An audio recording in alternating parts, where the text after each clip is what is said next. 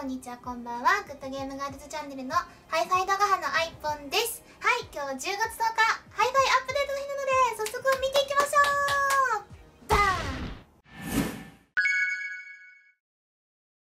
はい、ということで、アップデート内容を見ていきましょう。はい、ハイファイをお楽しみいただきありがとうございます。ファイドファイヤー運営チームです。はい。10月10日6時から10時にてアップデートメンテナンス実施いたしました。今回の内容は、工場制イベント開催イエーイはい、生放送でも、ね、告知があったんですが、工場戦に参加して進化素材をゲットしよう。なんかね、ビーストとかね、アーリーンのね、イラストがめっちゃ可愛い。アイリーンがね、なんかアニメタッチになってて可愛い。超可愛い。はい。えー新規機関銃 G ファルコンが実装されて、そして、期間限定スキンが復活ピックアップ、そして、そして1周年記念、合計3650ダイヤプレゼント。ほうほうほう、そんなにもらえるの ?1 周年記念イベントで、毎日献血400、えー1対1の対戦モードやったらプレゼントされるなどなど、いろいろあります。ではではでは、ちょっと追加された新規時期、そして復活されたスキンを見ていきましょう。はい、ということで、なんと1周年記念第5弾は、このスキン1、2、3、4種類が、なんと復活で出るということで、えー、現在のピックアップは、アイリーンのメイドバージョンが出ております。アイリーンのメイドバージョンね、出なかったのよ。アイ、あの、千秋ちゃんの黒猫バージョン今好きにしてるんですが、オリジンも持ってるんですけど、オリジンビーストも。スーツブリース持ってたかな？持ってなかったかな？持ってない気もするな。ちょっとね、アイリーンはね、出なかったので、これもう出た瞬間みんなわーって湧きましたよね。アイリーンがメイド服着てるって。で、まさかの手に入れられなかった人もここで手に入れられるかもしれないので、と早速、今日ね、ガチャ回してアイリーンを手元にてほしいと思っているのですが、そしてそして、こちらですね。はい。新重機追加、機関銃 G ファルコンスキル、強化射撃、エインガナ社の技術でパワーアップした TY ガトリングの超進化版、あ、T1 ガトリングのね、強くなったんだ。もともと大きかった壮大弾装容量はさらに拡大、最大強化時の弾装効果なしで171発の連射が可能。一発の破壊力も相当増しているため、へえ、かのトールハンマーを超える実力を備えていると言っても過言ではありません。出たトールハンマー超えマジか。いやね、T1 ガトリングマジ強い強いって言われてて、通る通る通るってなって、で、今度は、あのクリスのね、機関銃が強いと言われてますけども、ちょっと欲しいね。しかも、見た目がかなり変わって、なんかゴールドでかっこよくなってるので、で、こちらの G ファルコン、そして、メイドアイリーンをかけて、ちょっとガチャさせていただきます。はい、ではガチャを今回30年以内に出したいと思う。えっとね、何年以内に出すって言ったらね、出たっていう実績が最近あるから、30年以内に。出します。いきます。どっちもね、G ファルコンも、メイドアイリーンも。では、10年目。頼むよお願い。これは来るんだ。私は知っている。来たー。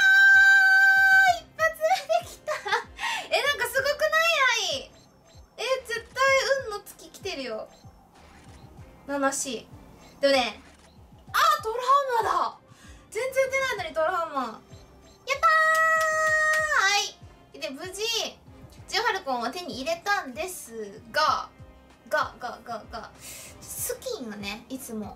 ちょっと、手に入らない感じがあるので、女の子は特に。では、20連目。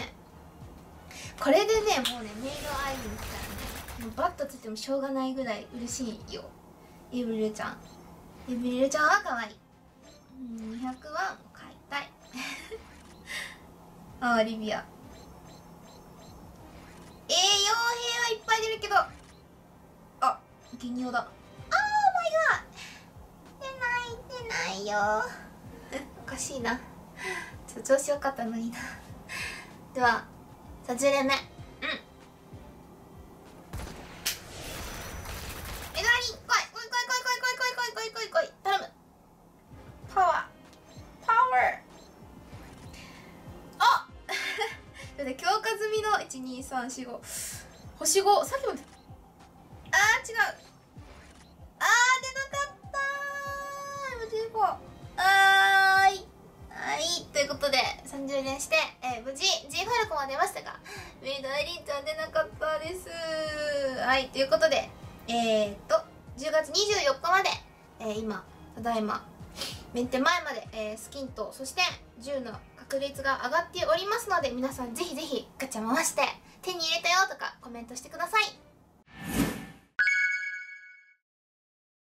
そしてそして甲状腺イベント。おおかっこいいね。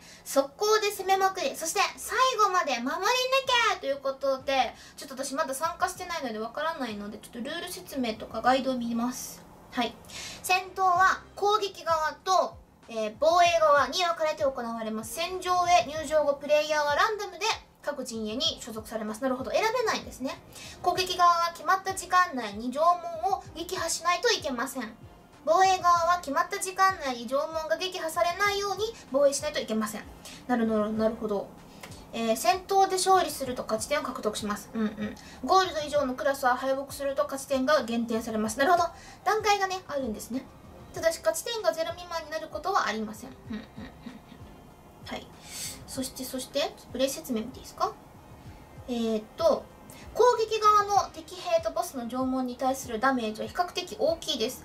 え防衛側は早く1階に降りて敵を撃退し、縄文を守らないといけません。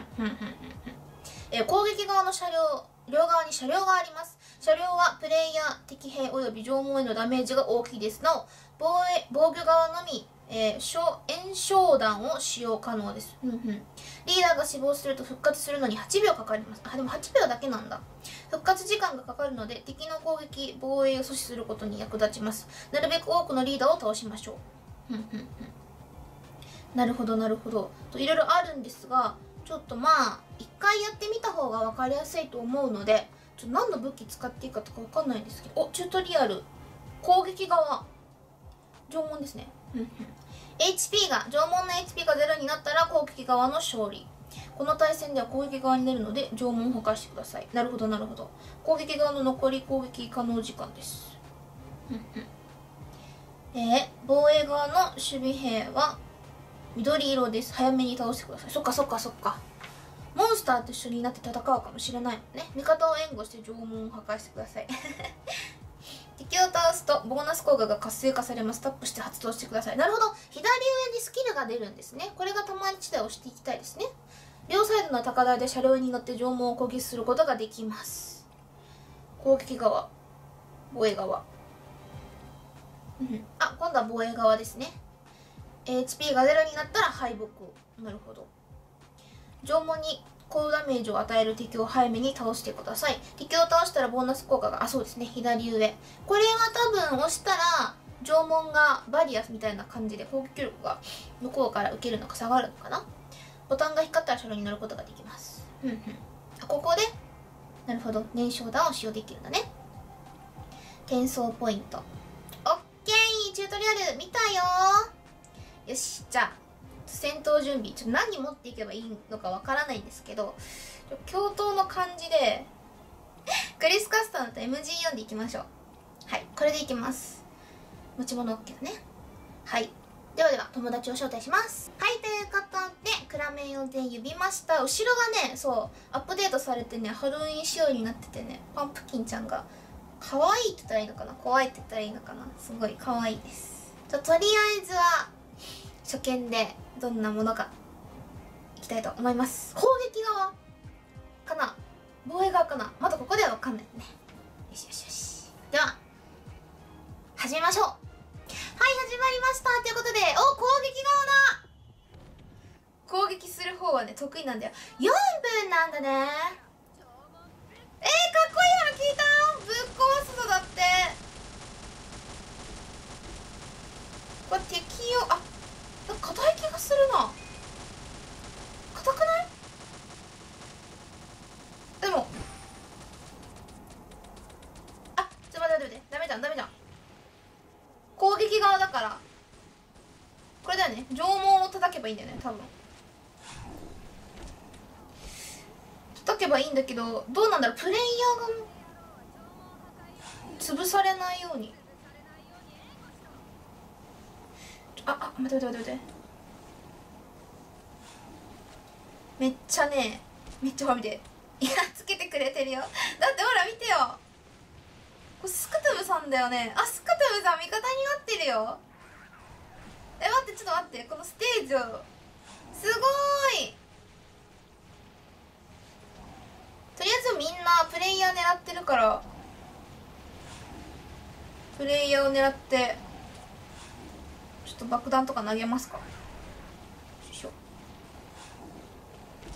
いしょ。あの硬いね。あの放送で言われてたけどそのまま銃の強さとかが反映されて調節されないらしいからあの共闘勢とかね無限勢とかねすごい強化してる人はかなり強いイベントだと思うのですがちょっといいかな。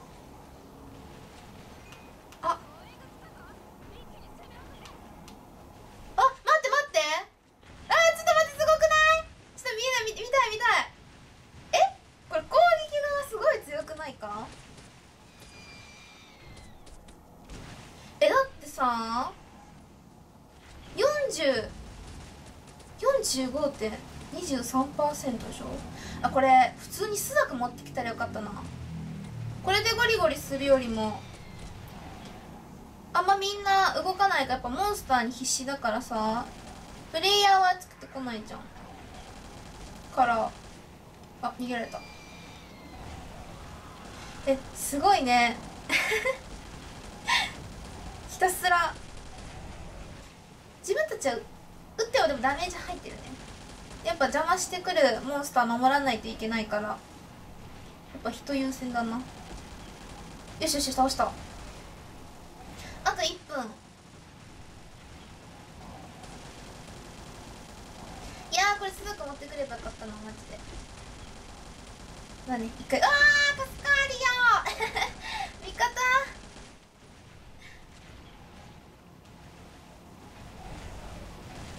やめろ仲間えマジ強いって。